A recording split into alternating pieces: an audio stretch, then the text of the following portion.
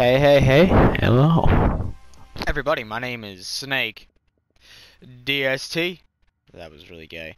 And welcome back to another build video. Um, this is my PvP and or PvE, but overall PvP DPS build. Not really DPS, I don't know why I said that, but it's definitely my build I use during PvP, and until I find something else that I want to try out, this is it. This is called my Alpha Pred set.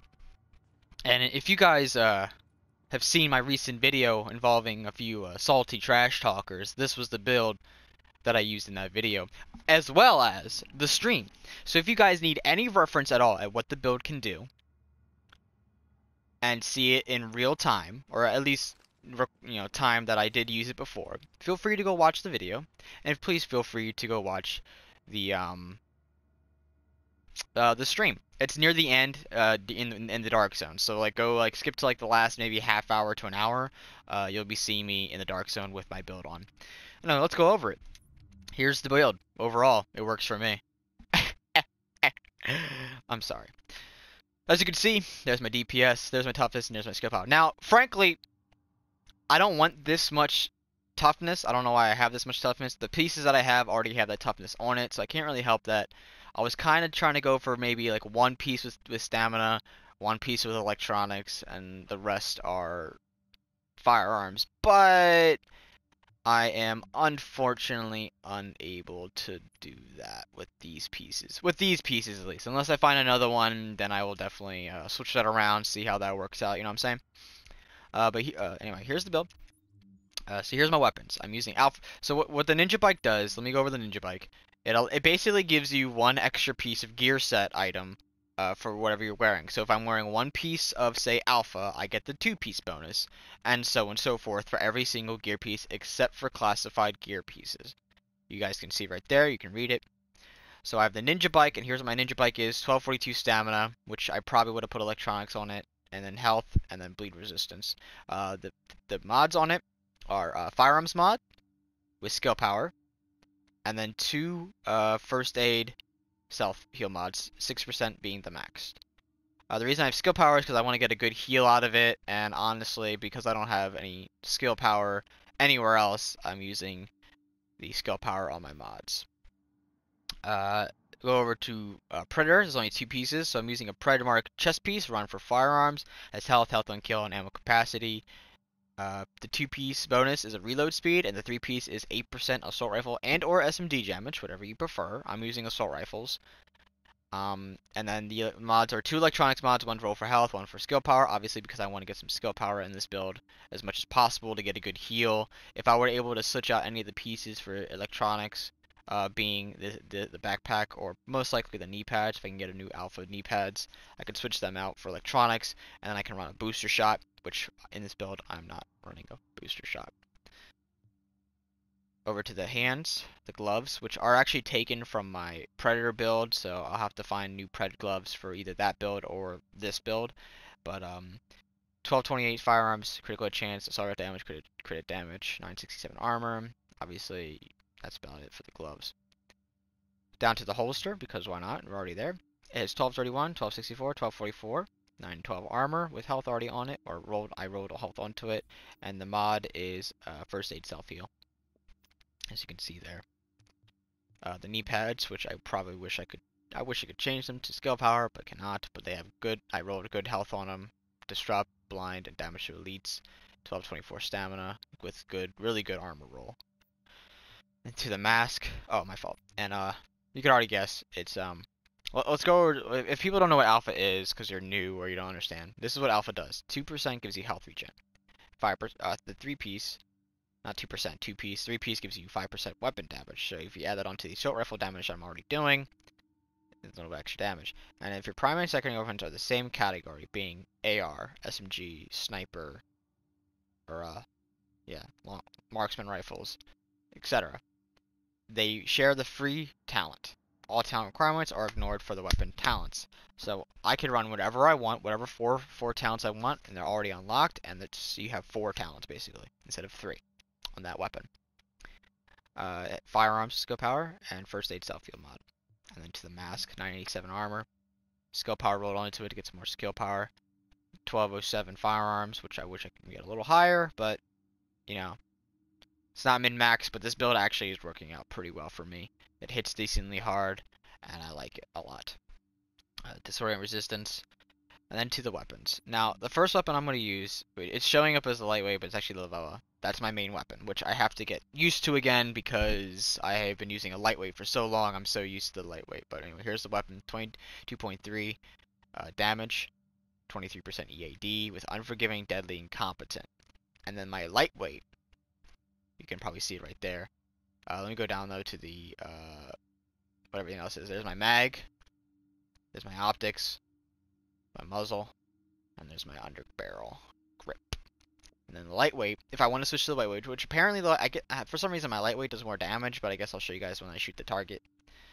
Um, it has destructive, brutal, and responsive on it, and then obviously competent if I use lightweight. Um, I prefer the other one better because the talents I feel like are just a bit uh, overall better. At least for I wish like on this build I would I probably replace brutal for unforgiving or destructive for unforgiving. But um, yeah, competent's also really good. It does have responsive on it, but it has the same damage, has the same EAD. Uh, the mags and such might be a little bit different. Like there's a large optics my magazine, the loud vent break instead, and a small grip as well with my skin. The pistol I'm using, because why not? M1911, harmful, toxic, nothing special, just an arm, you know, harmful pistol, does some damage. Um, let me go over to the character real quick. So here's my firearms, stamina, electronics, my weapon damage, crit chance, crit damage, headshot damage, my range, reload time, reload speed bonus, all weapon damage bonus, assault rifle damage bonus, assault rifle percent damage bonus, as you can see there. And then go down to my SMG damage bonus, which if I ever want to switch to an SMG, there's that. Damage to elites, health on kill, uh, threat, skill, power. Don't have any of that, sadly toughness, max health, my armor, my health regen, etc., etc., bleed resistance, blind death resistance, destroying resistance, destruct resistance, etc. Uh, go to the abilities. I run um, overdose, gives you that overheal. Unfortunately, if, like I said before, if I had more skill power, I would definitely probably run booster, just because of the uh, damage increase and resistance.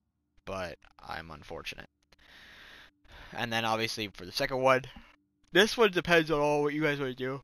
I apologize for yawning. You could use this, you can use that, you can use whatever you want. But I use this for the extra heal. You toss that thing down and it uh, immunes you from anything that if you're getting hit by something, you're about to get hit by something, immune. And or also if you pop it, you know, you get some extra health. A little bit extra healing, not too bad, right? My talents for this build are as followed. Critical save, Use my kit during low health to increase your damage resistance by 20% for 10 seconds. Which also, might as well, if I remind you guys, combine this with Refresh Mask.